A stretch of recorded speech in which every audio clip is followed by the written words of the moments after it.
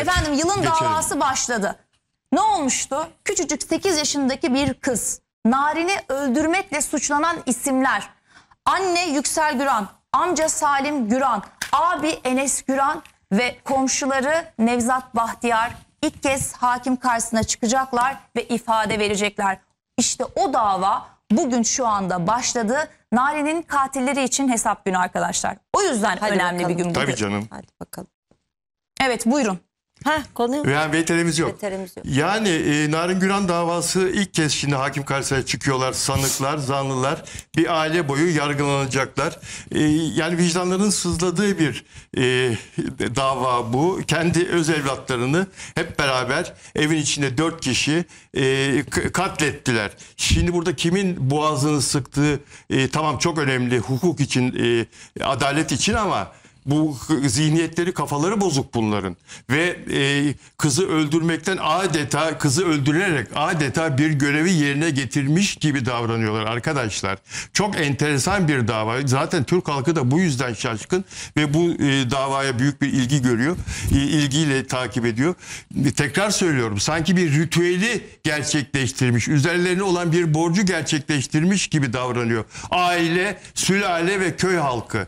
Yani sülale işin içinde. Yani mü- mü- müthiş bir şey bu. Böylesini daha evvel e, hiç duymamıştık, hiç görmemiştik. Yıllardır bu davaları merak edip takip ederiz, okuruz, ederiz ama böyle bir şey yok. Cezaevindeki insanları dışarıda aileden aile bireyleri arıyorlar.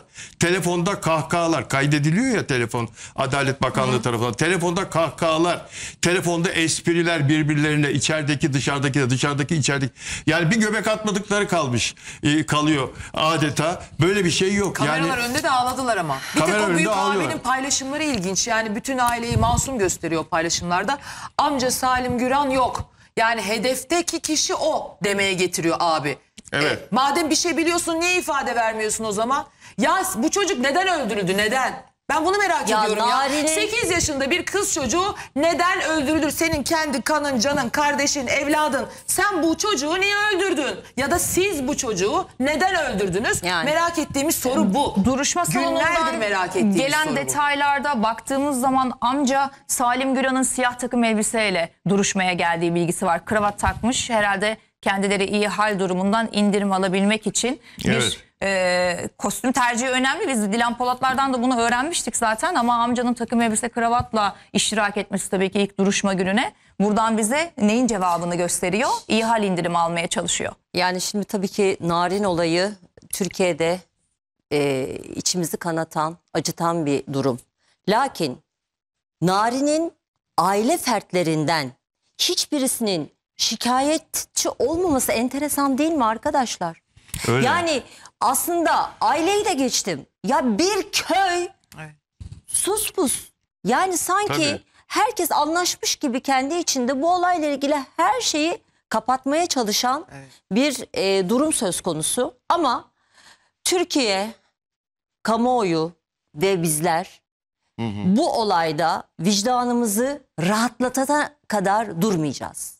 Öyle Konuşmaya devam edeceğiz ve e, bu davanda takipçisi olacağız. Öyle tabii. Bir de o şeyi saklayan var ya taş ustası e, cesedi, Cesedi. Cesedi. cesedi İtirafçı. saklayan. Evet. Bir de ona diyorlar ki neden itirafçı oldu? Nevzat Bahtiyar. Evet, Evet. evet. Neden itirafçı oldu? Niye her şeyi açıklıyor? Neden dışarı bir çıksam onu yapacağımı biliyorum falan diyor. Tabii. Ağabey içeride. Oradan bile. Ya adam itiraf etti işte ya, adalete yardımcı oluyor. Sizin gibi gizlese miydi? Zaten bütün e, e, suçu da Nevzat Bahtiyar'ı yıkmaya çalışıyorlar. Evet, evet, Abinin yıkmaya yaptığı çalışıyorlar. açıklamaları yazıp yazıp sildiği bazı durumlar vardı. Bazı yazılar vardı. Orada Evet. da hani benim annem suçsuz neden işte tutuklu olarak ya HTS kayıtları açıklandı. Olayın gerçekleşti. O 8 yaşındaki kız çocuğunun annesi de oradaydı. Ne yaptınız bu kız çocuğuna açıklayacaksınız. Şimdi hakim karşısına çıktınız. Anne, amca, abi hepiniz olay yerinde evin içindeydiniz yahu. Hani bunun nesinden kaçacaksınız ki? Kaçamayacaksınız zaten. Bu ülkenin en çok merak ettiği soru bu çocuğun katili kim? Kim öldürdü? Şimdi bu dava çok önemli bir dava. Aslında emsal bir dava. Şimdi bu davada çıkacak olan karar neyse aslında kalan ve tüm çocuklarımızı ve tüm narinlerimizi koruyacak. Bakın çok önemli bir dava bu. Emsal bir dava arkadaşlar. Yani, Ya o bölge ilginç yani köyde korku filmlerindeki gibi bir köy yani 3-5 milyonluk ara, lüks arabalar falan var E, amca tefeciymiş falan deniliyor ya çok karanlık Çok hikayeler karanlık var bu hikayeler işte var. sıradan bir çocuk ölümü değil, bu Değil bu. hikaye o yüzden zaten çözülemiyor. O yüzden bir şeyler sürekli örtülüyor, bir şeyler e, farklı yerlere çekiliyor, ifadeler değişik değişik. Yani o yüzden işin içinden çıkılamadı bunca zaman. Ama bakalım bugünkü mahkemede neler olacak? Vallahi çocuklar için, kadınlar için bu mahkemeden çıkacak karar çok önemli. Tekrar altını çiziyorum. Çok. Çok önemli. Yani e, ben ümitliyim, umutluyum ve e, güzel haberler alacağımızı da düşünüyorum. Ben yine mahkemede de konuşmayacaklarını sanıyorum. İş değilse ilk duruşmada, ilk Abicim celsede. 26 tanık dinlenecek. 26 tanık ya sen 26 kişiden bir tanesi de açıklarsınız Ya, herhalde. yani. 18 gün boyunca sustunuz. 26 tanık annesin sen ya. Önce senin konuşman lazım. Kendini feda etmen lazım. Oğullarını değil o 8 yaşındaki kızın katilini senin açıklıyor olman lazım. Kısacık bir Zamanında araya gideyim. durdurması lazımdı. Ben- Ben zamanım geldi. Bir gideyim geleyim ondan sonra söyle. Evet efendim. Nari'nin katilleri için hesap günü bugün yılın davası görülmeye başladı. Anne, amca, abi ve komşu ilk duruşmasına çıktı. Abi bir şey söylüyordun. Evet ben bu duruşmada ne zanlıların, katil zanlılarının ne de e, bu mahkemenin çağırdığı, bu mahkemenin çağırdığı tanıklar bunlar 26 e, ifadesini almak istediği, tanık olarak ifadesine başvurmak istediği hakimin e, kişiler dolayısıyla kendi istekleriyle tanık olduklarını hiç zannetmiyorum. O köyden öyle bir şey çıkmaz. E, ve bunların hiçbir şey söylemeyeceğini hatta sanıkların söyleyeceği bazı şeylerin Türk milletinin sinir uçlarıyla oynayacağını düşünüyorum.